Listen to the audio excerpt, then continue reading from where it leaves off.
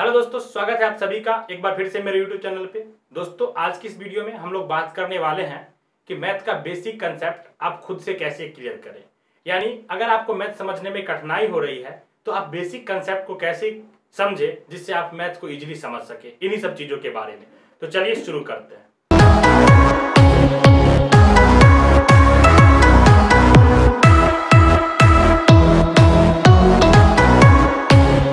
दोस्तों, मैं ये बताना शुरू करूँ कि मैथ का बेसिक कंसेप्ट आपको कैसे क्लियर करना है, उससे पहले हम कुछ चीज़ें आपको बताना चाहते हैं। देखिए, अगर इंटरनेट पे आप कहीं भी सर्च करते हैं मैथ कैसे पढ़े या हाउ टू स्टडी मैथ तो आपको सबसे पहले यही बताया जाता है कि मैथ का बेसिक कंसेप्ट आप क्लियर करें। लेकिन कोई ये नहीं बताता कि मैथ का बेसिक कंसेप्ट आप क्लियर करेंगे कैसे।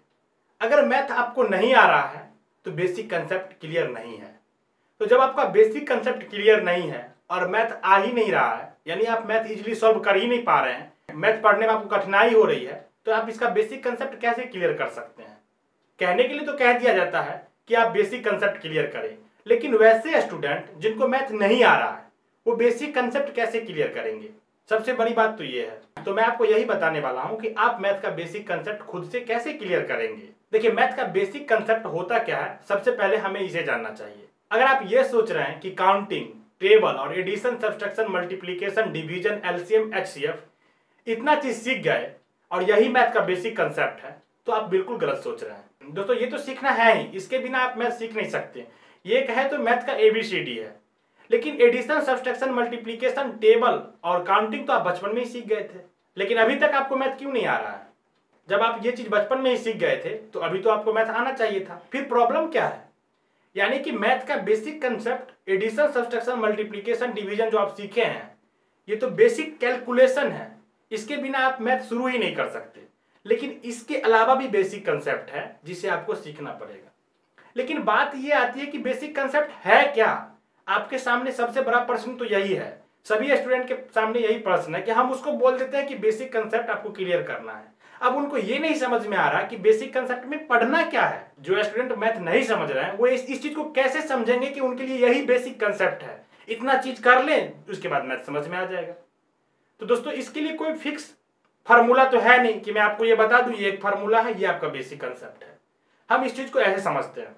मान लीजिए कोई एक स्टूडेंट है जिसको हम मल्टीप्लीकेशन सिखा रहे हैं। तो हम उसको मल्टीप्लीकेशन में टू या थ्री डिजिट का मल्टीप्लीकेशन सिखाना चाहते हैं। अब उस स्टूडेंट के लिए बेसिक कंसेप्ट क्या होगा? उस मल्टीप्लीकेशन जो हम सिखाना चाह रहे हैं, दो या थ्री डिजिट का, उसके लिए बेसिक कंसेप्ट क्या है? उसको काउंटिंग आना चाहिए, फिर टेबल आना चाहिए एडिशन और वन डिजिट का मल्टीप्लीकेशन आना चाहिए। अगर उसको वन डिजिट का मल्टीप्लीकेशन आ रहा होगा अच्छे तरीके से तो वो टू थ्री डिजिट का मल्टीप्लीकेशन आसानी से सीख सकता है। इस बच्चे के लिए क्या बेसिक कंसेप्ट हो गया? काउंटिंग टेबल एडिशन और वन डिजिट का मल्टीप्लीकेशन ठीक इसी तरीके से मान लीजिए कोई और स्टूडेंट है, जिसको हमको डिवीज़न सिखाना है। अब उसको हमको डिवीज़न सिखाना है तो सेम उस बच्चे के लिए क्या बेसिक कंसेप्ट होगा? उस बच्चे को भी काउंटिंग का नॉलेज होना चाहिए टेबल आना चाहिए सब्सट्रैक्शन आना चाहिए, तब हम उसको डिवीज़न सिखा सकते हैं। तो कहने का मतलब है कि ये डिपेंड करता है आप सीखना क्या चाह रहे हैं। यानी कि आप किस क्लास में हैं, उसके अकॉर्डिंग आपका बेसिक कंसेप्ट डिसाइड होगा। यानी बेसिक कंसेप्ट कहने का ये मतलब बिल्कुल भी नहीं है कि कुछ ऐसा बेसिक कुछ कंसेप्ट है दो चार जो आप सीख लेंगे और मैथ आपको आ जाएगा, ऐसा नहीं है। आप सीखना क्या चाहते हैं? आप है किस क्लास में? इस पर डिपेंड करेगा।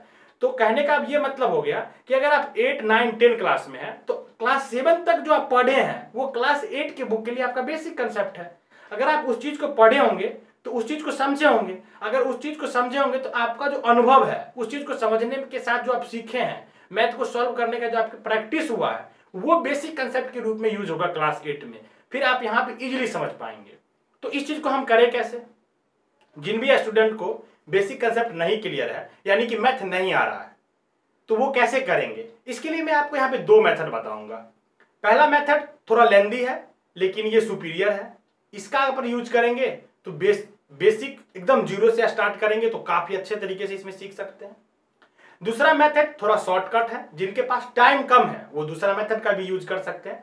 अब डिसाइड आपको करना है कि आप किस मेथड के थ्रू जाएँगे, जो आपको अच्छा लगे, जिसके अकॉर्डिंग आपके पास टाइम है, आप उसका यूज़ कर सकते हैं। तो देखिए, हम फ़र्स्ट मेथड आपको बताते हैं।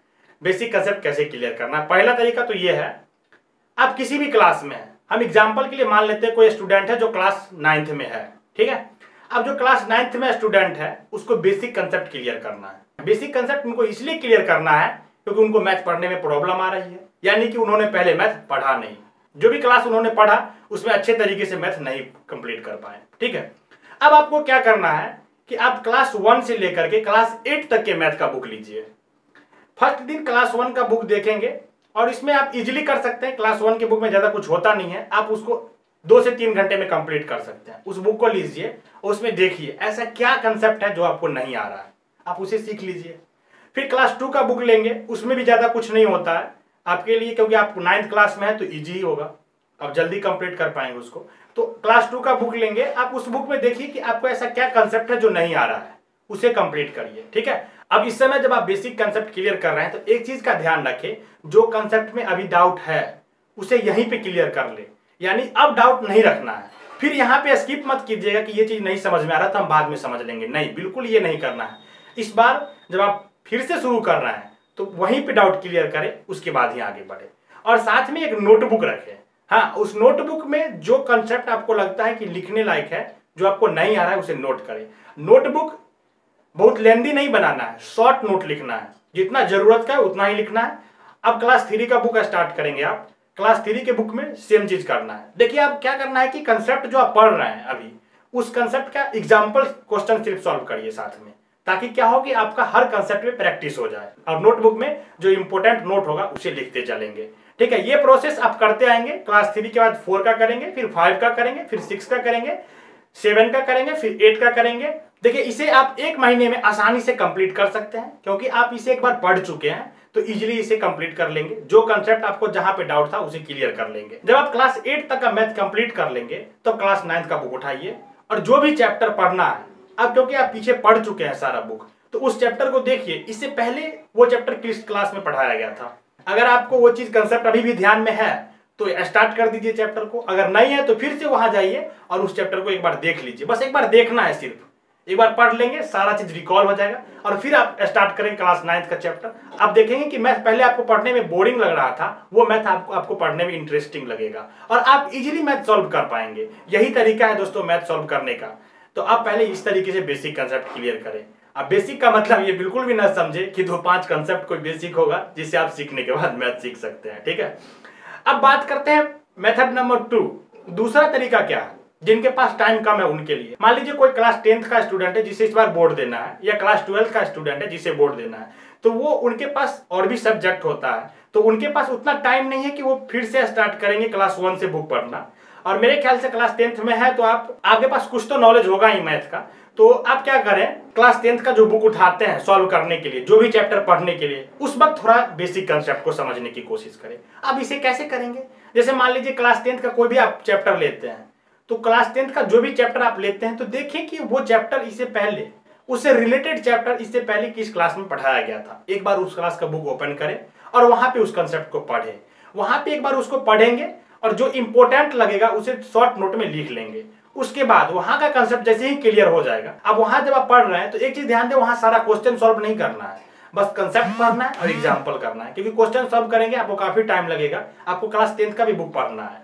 तो वहाँ पे कंसेप्ट जैसे क्लियर कर लेंगे तो नोटबुक में नोट कर लेंगे। उसके बाद फिर आप क्लास टेंथ का बुक ओपन करें और उस चैप्टर को पढ़ना शुरू करें जिसे आप पढ़ना स्टार्ट करने वाले थे। तब आप देखेंगे कि पहले की तुलना में आसानी से मैथ पढ़ रहे हैं। इसके पीछे का रीजन ये था कि आप इससे पहले जो उस चैप्टर को पढ़े थे, उसको एक बार पढ़ लिए तो सारा कॉन्सेप्ट क्या हो गया रिकॉल हो गया। और जो डाउट था, वो क्लियर हो गया। तो सारी चीज़ें बेसिक आपके ध्यान में आ गया है। तो अब आप जब यहाँ स्टार्ट करते हैं क्लास टेंथ का बुक तो इजिली समझ पाते हैं। जैसे मान लीजिए क्लास ट्वेल्थ में अगर आप त्रिकोण पढ़ना स्टार्ट करने वाले हैं तो उस चीज़ को क्लास टेंथ में भी पढ़ाया गया। क्लास इलेवेंथ में भी पढ़ाया गया। तो क्लास टेंथ और इलेवेंथ का जो चैप्टर है, उसका बेसिक फार्मूला उसका बेसिक कंसेप्ट अगर आपको आता होगा तो क्लास ट्वेल्थ का जो त्रिकोण मिति आप पढ़ेंगे, वो इजीली समझ में आपको आएगा। तो इस तरीके से आप क्या करें बेसिक कंसेप्ट को क्लियर कर सकते हैं। आपका एक आइडिया लग जाएगा कि बेसिक कंसेप्ट क्या होता है। नहीं तो आप फिर सोचते रहते हैं कि बेसिक कंसेप्ट में पढ़ना क्या है। तो जब भी आप क्लास किसी भी क्लास का बुक स्टार्ट करें तो एक तो ये भी आप कर सकते हैं कि उससे पहले वो कंसेप्ट जिस बुक में दिया गया, उसको पढ़ ले और उसको समझ ले, फिर आप यहाँ आके उस चैप्टर का स्टार्ट करें। तो आप देखेंगे कि पहले की तुलना में काफ़ी आपको इजी लगेगा मैथ पढ़ने में। तो दोस्तों, ये एक मेथड है जिससे आप बेसिक कंसेप्ट क्लियर कर सकते हैं और मैथ पढ़ने में आपको काफ़ी यूजफुल साबित होगा। तो दोस्तों, इस तरीके के और वीडियो के लिए चैनल को सब्सक्राइब कर लीजिए वीडियो को लाइक कर दीजिए और अपने दोस्तों के साथ शेयर करिए। और आप नीचे कमेंट में लिख सकते हैं, अगर अभी भी आपके मन में कोई डाउट है तो आगे हम क्या आपको बता सके।